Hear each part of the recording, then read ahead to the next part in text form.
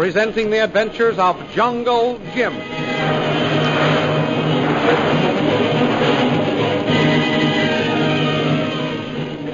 Last week, while Derek Bulger was making another attempt to find out more about Jungle Jim from Lynn Chalmers, word came that three strangers had made their appearance in the hills.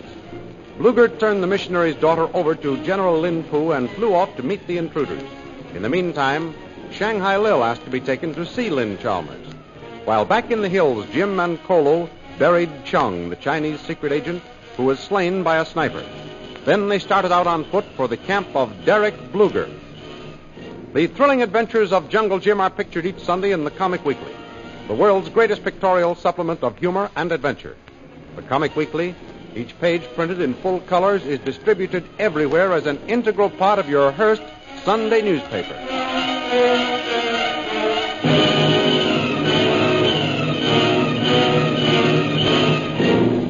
And now we continue our story. Jungle Jim and Kolu crouch behind a pile of rocks in Suling Pass and peer cautiously over the top as they watch two sentries warming themselves at their campfire. Keep down, Kolu. Don't let them see us. Soldiers no see us, Tuan. Have backs to us. Yes, but there's no telling how long they'll stay that way. We've got to get their clothes somehow. With those rifles and cartridge belts, they must be Bulger sentries. Yes, Tuan. Me think Mongol men belong all same Bulger. Mm, I wonder where their posts are. Just by that campfire, or do they walk around? We find out, Tuan Jim. Look, see. Look out, Kolu. Here comes one of the soldiers this way. Get down here and don't say a word.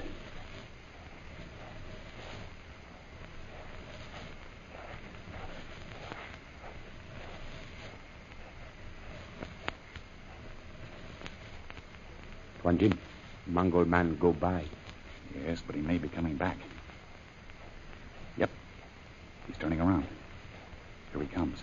Quiet now.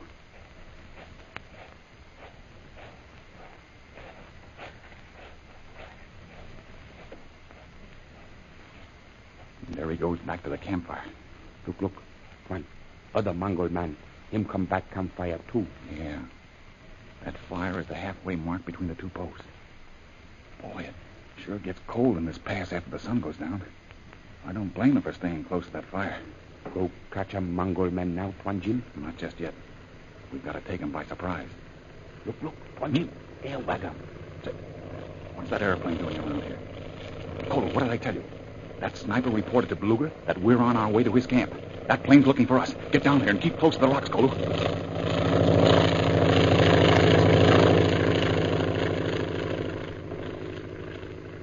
There it goes.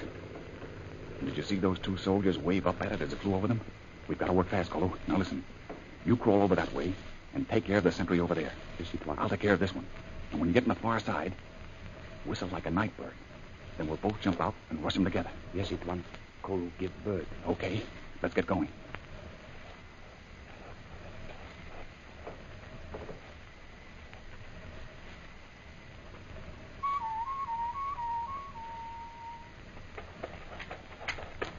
My plan, I friend. Come on, Paul. Oh, you will, will you?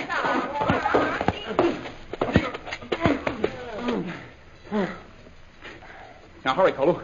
Get their uniforms off them. No, no, no, wait. That plane might come back any minute. They see us from the light from the fire. We better drag them over near those rocks. Come on. Attaboy, Kolu. Come on, drag them right away. here. You take one. Here. They can't see us over here. Now get the uniforms off these boys. We've got to change clothes with them before they come back from dreamland. Yes, it one. Kolu do. Tuan, we be dressed like yellow faces, but no have yellow faces. Me black, you white. Yes, I know, Kolu. We must be careful. But at least this will be something of a disguise. They won't recognize us from a distance. Yes, it's one. Which way we go to Bulger camp? The airplane came from over that hill, remember? We'll take our cue from that and go that way.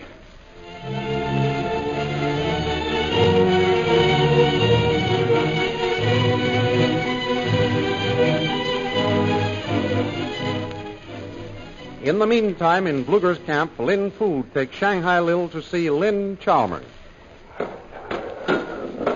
Visitor wishing to see you, Mrs. Chalmers. A visitor for me? Who is it? Believe it or not, It's me. Hoping you ladies get very friendly. Who are you? I don't suppose you could guess. No, I've never seen you before. And I've never seen you. But that doesn't mean I don't know who you are, Lynn Chalmers. Why, you must be Lily DeVrille. That's right. Only my friends know me better as Shanghai Lil. What are you doing here? Visiting an old friend of mine. Oh, of course. Lin Fu. Now listen here, Miss Chalmers. Don't let the name Shanghai Lil give you any wrong ideas. It's Derek Bulger who's my old friend. Well, as far as I'm concerned, you can have him. I don't admire your choice of friends. Oh, no? now, isn't that odd? Why? Somehow I got the idea that you and I have a mutual friend that you admire very much. Oh, you mean Jim? Yes, Jungle Jim Bradley. Well, your friendship with Jim happened by chance, not from choice. I'm afraid you're right about the chance part. It was chance that brought us together, but it was choice that has kept us friends. If you're such a good friend of Jim's, why did you bring him over to China? Because he was wanted over here. I can believe that. And it's your old friend, Mr. Derek Bulger, who wants him. Well, it seems like that, doesn't it? But Derek's not the only one who'd like to see Jim. Oh, I suppose you're dying to see him. Well, hardly dying, Miss Chalmers. But I would like to see him very much. That's why I'm having this little chat with you.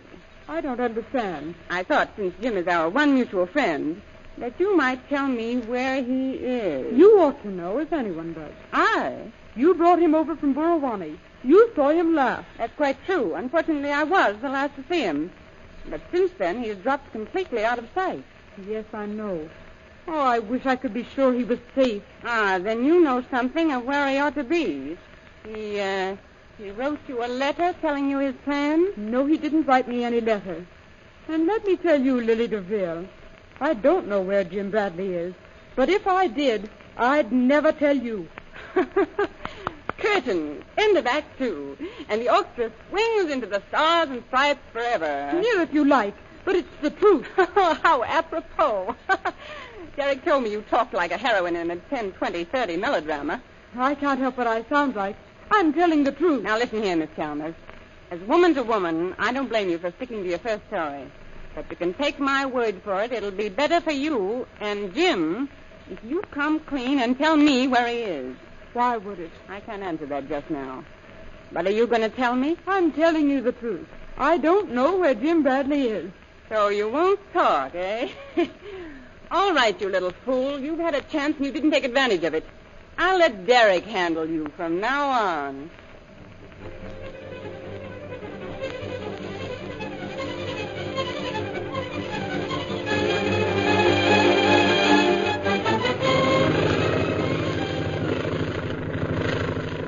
Hours later, the plane piloted by Derek Bulger roars in from the hill. Lin Fu and Shanghai Lil watch it circle for a landing.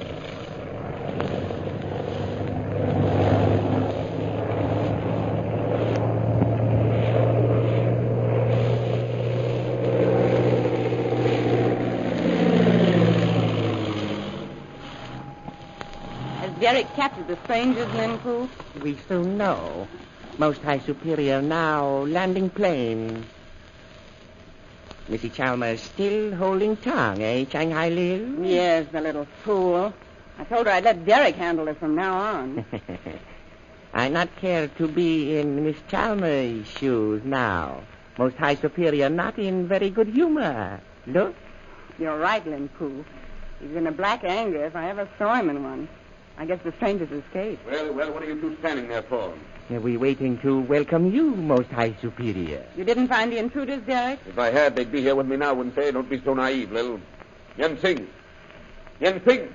Yes, Most High Superior. I come in. Lin Fu, is the Chalmers girl talk yet? No, Most High Superior. Missy Chalmers still denies she know anything about Jungle Jim Bradley. She does, huh? We'll tend to her later. Just now, I want to deal with that sentry from the hills who brought word of the strangers. You called me, Most High Superior? Yes, I want you to bring that sentry to me in my quarters for court martial. Have assembly sounded. Arouse the entire camp. Yes, Most High Superior. At once. I didn't find the strangers, Lin Fu, but I found three horses running loose in Su Ling Pass. Ah, were you able to identify owners, Most High Superior? I'm almost certain that one of them was Jim Bradley. What makes you so sure, Derek? They had abandoned some of their supplies. They were stamped as having been purchased in the international settlement at Shanghai. That's not definite proof, Derek. It might have been that long-nosed psalm singer, Manley Chalmers. Yes, I know that, Lil. That's why I said I was almost certain. We'll question the sentry and see if he can furnish definite descriptions of the three strangers. Excellent idea, Most High Superior. Excellent. Do you not think so, Shanghai Lil? Yes, I couldn't have planned it better myself. As soon as the soldiers are assembled in two, let me know. I'll be in my quarters. You come with me, Lil.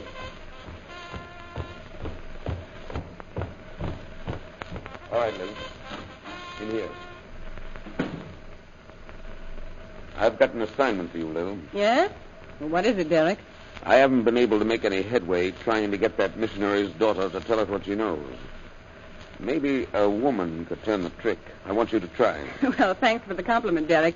But I've already interviewed her while you were out searching. Smart girl. And? And I wasn't so smart. I didn't get anything out of her but another denial.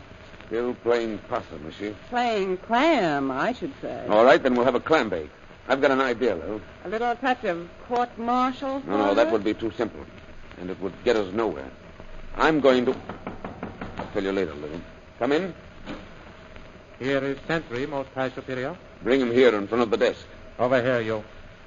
Most High Superior, camp is drawn up in formation. We await orders. Good. I've something to say to them in a moment. But first, Yen Sing, you get the Chalmers girl and bring her here. Yes, Most High Superior.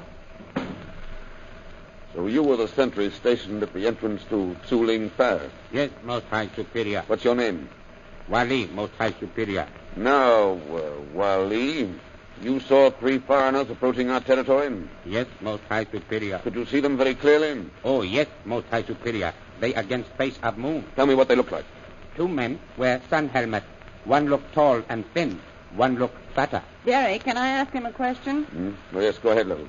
Wally, you say you got a good look at those men. Did one of them have a little beard? No, Missy. No man have beard. If one had, Lil, you think it would be... The missionary, our friend, the Reverend Chalmers. And since none had a beard, it's a pretty good chance Jim Bradley's arrived. Yes, Derek, it sounds like it. Wally, did one of the three wear a turban wrapped around his head? Yesy, Missy. One wore turban. That's Bradley's man, Friday. I guess we've identified your visitors, Derek. Jim Bradley in my territory, huh? And you let him escape, Wally. Most High Superior. I not know who strangers are. That's your mistake, Wally, but you're going to pay for it. Oh, Most High Superior. Get up, you. I, I not know. Open the door, I Lily. not know. I not know. Well, if it isn't the Girl Scout. Bring Miss Chalmers over here, Yen Sing, in this chair. And take this stupid sentry outside. I'll deal with him in a few moments. Yes, Most High Superior. Come, Wally. Well, then, Chalmers, you still claim to know nothing of Jungle Jim's plans. Yes. And it's the truth. We'll soon find out. Two foreigners are coming here. We suspect that one of them is Jungle Jim. I'm going to set a trap for him with you as the bait. What kind of a trap is Derek Bulger going to set for Jungle Jim? The adventures you have just heard dramatized appear in full color action pictures in the Comic Weekly, the world's greatest supplement of humor and adventure. The big Comic Weekly distributed with your Hearst Sunday newspaper everywhere. In the Comic Weekly, you will see all of the famous characters who live in the world of color pictures. There's Bringing Up Father, Sentinel Louis, Toots and Casper, Flash Gordon, the Katzenjammer Kids, and many others. There are also pictures of high spots in the careers of heroes of American history. Don't forget our date next week, same time, same station, for a continuation of the adventures of Jungle Jim.